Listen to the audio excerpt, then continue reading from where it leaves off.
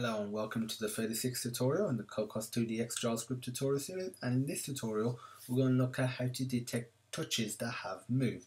This tutorial assumed you've done tutorial 34. If you haven't there'll be a link in the description to the source code and as usual there'll be a link in the description to the source code produced from this project. And let's just open up the code from tutorial 34.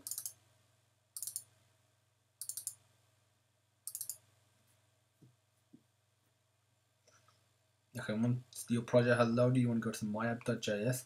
After the init function, you want to put another function. It's a built-in function. It's called on touches moved colon function open bracket takes two parameters. One is touch, one is event. Okay, braces, and then there we're do cc.log open bracket punctuation mark. And here we're just simply going to put multi touch moved. There we go. Put a comma at the end here. Sort out the formatting before we run it. Click play. Once the simulator loads, when I click and drag, what will happen in the log? Uh, there will be a printout of multi-touch moved.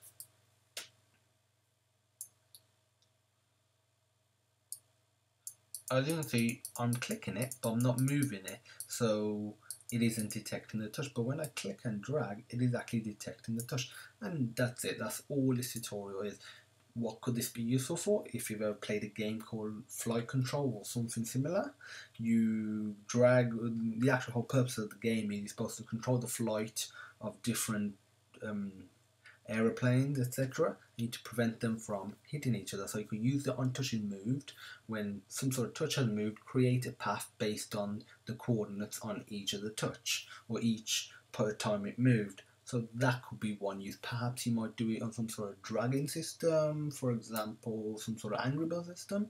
But those are just a couple of examples. You can be more imaginative and try and create your own style of games. But that's it. That's all you need to do to actually detect when a touch has moved.